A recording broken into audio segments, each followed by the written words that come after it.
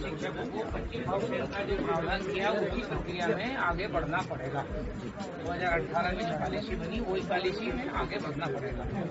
ये जितने भी लोग डायरेक्ट सीमितीकरण हो जाएगा वो नहीं होगा ये तो कांग्रेस के लोगों ने तो मनोप्रश्न में डाली थी बातें क्यों नहीं करते सवा साल में?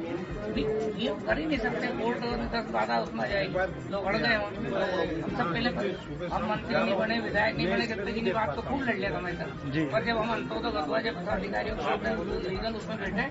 तो हमको उन्होंने कहा जब भी तो पारस जी थे जब भी हम अठारह में इसकी पॉलिसी बना लाए उनको छूट दो नंबरों को इसलिए इसकी बजाय अपने लोगों को अभी फिर परीक्षाएँ हम कराने के मूड में परीक्षा कराएँगे और उसको उसमें पास कराएँगे और उसके बी एड डी एड दे करके और उसमें प्रोसेस में जाएगा उनको जो जितना अनुभव है अनुभव का लाभ उसमें दिया जाएगा अनुभव का लाभ दे रहे हैं अभी दे रहे हैं अभी ये प्रक्रिया होगी इसमें तो अनुभव का लाभ दे रहे हैं।